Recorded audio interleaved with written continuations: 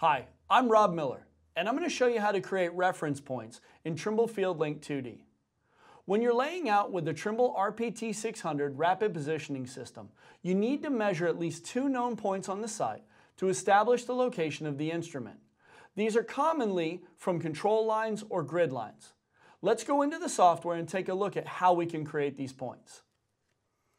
Inside Trimble FieldLink 2D, we have a background grid here. We're going to go ahead and create points from the model. Now because these are grid lines, we want to identify the intersections of each of these points.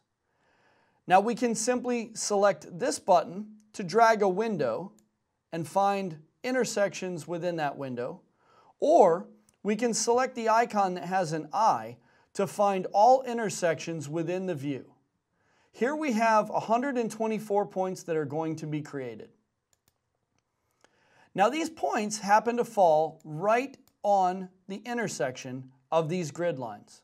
And in many cases, we'll have a column here which will prevent us from occupying those exact locations. So what I'm going to show you how to do now is to offset these points so that we can occupy locations along the grid line offset from the center. We'll go ahead and we'll select points, and then we'll use the offset points function. We simply tap two of the points to define a line. From there, we can open up the input panel and set the offset value that we want. We'll use four feet for this example.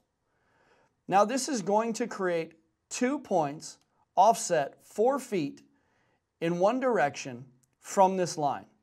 We can also toggle the side of the line by selecting this button, and we can have pairs on both sides or just one side.